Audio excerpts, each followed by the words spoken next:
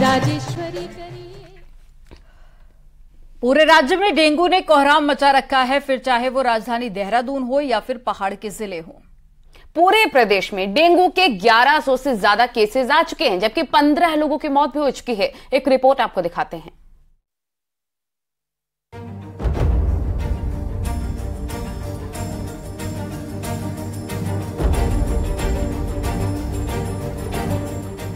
पूरे उत्तराखंड में डेंगू ने अपना कहर मचाया हुआ है। राजधानी देहरादून में अभी तक सबसे ज़्यादा 660 लोग डेंगू की चपेट में आ चुके हैं। अस्पतालों में मरीज़ की लाइन लगी हुई है।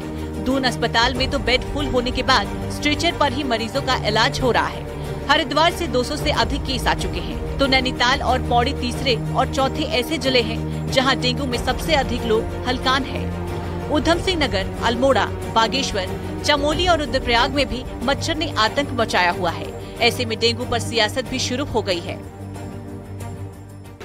डेंगू की जो स्थिति है, वो पूरे प्रदेश के अंदर बहुत गंभीर स्थिति है और राजधानी में तो डेंगू ने अपना साम्राज्य फैला दिया है।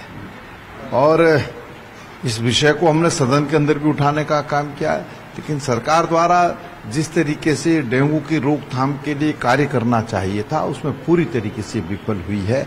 छिड़काव जो है हर ग्राम पंचायत से लेकर हर वार्ड और हर घर तक करने का निर्णय किया गया। दूसरा ये किया गया कि लगभग तीन हज़ार बेड जो है डेंगू के लिए अलग से जो है आरक्षित कर दिए गए हैं।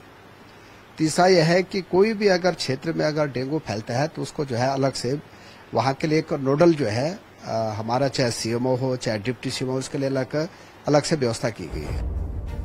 चिंता की बात तो ये है कि कोरोना की तरह ही डेंगू के भी अलग अलग स्ट्रेन है। राजधानी देहरादून में 90 फ़ीसदी केसों में डेंगू का सबसे अधिक घातक स्ट्रेन डी पाया जा रहा है। इस घातक स्ट्रेन से पीड़ित मरीज़ को शुरू के चार दिन तेज बुखार आता है। प्लेटलेट तेज़ी से गिरने लगती है। सिर दर्द, उल्टी, बदन दर्द की शिकायत होती है और फिर ब्लीडिंग का खतरा बढ़ जाता है। चल रहा था डेंगू का। अब थोड़ा ज़्यादा खतरनाक हो रहा है थोड़ा। और इससे ये, इसमें जो पेशेंट आ रहे हैं तो प्लेटलेट बहुत डाउन हो रहे हैं उनके। पाँच हज़ार, दस हज़ार। अब क्या है, पिछले दो चार दिन से क्या हुआ ये जो नया स्टेंट पाया गया है, इससे क्या उल्टी शुरू हो गई है वॉमिटिंग बहुत हो रही है, नाक से ब्लीडिंग शुरू हो गई है लोगों के। पेशाब लेटरिन के रास्ते खून शुरू हो गया है। अगर पहले प्लेटलेट डाउन थे तो ऐसा नहीं हो रहा था। कोविड के बाद डेंगू कितना बड़ा खतरा बन गया है, इसका अंदाज़ा इसी बात से लगाया जा सकता है कि खुद मुख्यमंत्री पुष्कर सिंह धामी को हालात पर नियंत्रण के लिए कमिश्नर गढ़वाल को मोर्चे पर तैनात करना पड़ा। स्वास्थ्य सचिव राजेश कुमार को देहरादून और हरिद्वार में अस्पतालों में जाकर व्यवस्थाओं का जायजा लेना पड़ा। हाल ही में संपन्न हुए विधानसभा सेशन में भी डेंगू का मामला छाया रहा। देहरादून से विशाल गर्ग के साथ सुनील नवप्रभात की रिपोर्ट।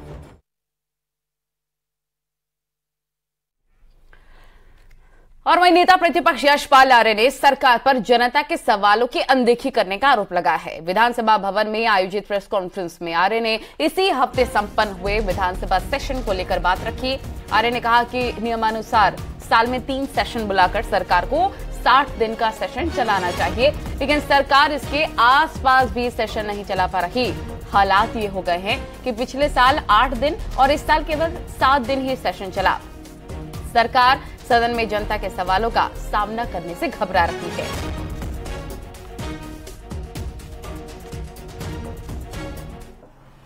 सदन की कार्रवाई पिछले वर्ष आठ दिन हुई और इस वर्ष सात दिन हुई है। जिससे जिससे ज़ाहिर होता है कि सरकार की नियत मंशा सदन को चलाने की नहीं है। हमने कार्यमंत्रणा समिति में भी पुरजोर तरीके से इस बात को कहा।